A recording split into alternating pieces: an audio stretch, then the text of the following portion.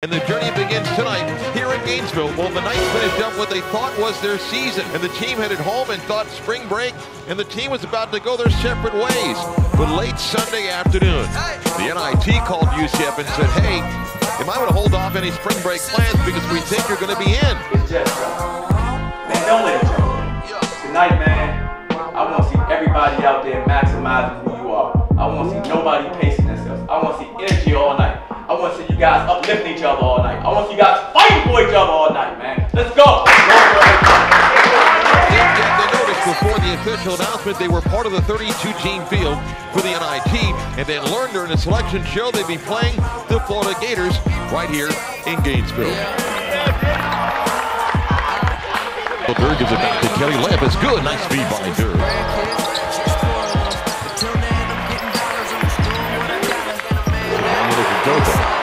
He has it knocked away. Stolen by Derek Johnson. Kelly driving in. Kelly's layup uncontested. CJ Kelly's got four. Nice back within three.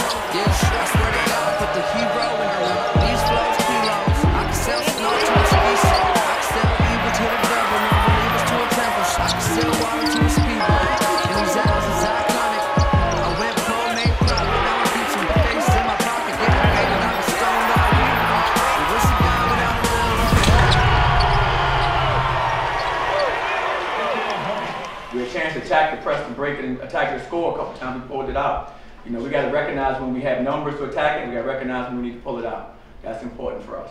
Knights lead by nine. You feel as if it should be about 14 or 15. They got sloppy with the ball at times. And what you want to do right now, don't let the Gators make a run to kind of get this back to a one possession game. Breakthrough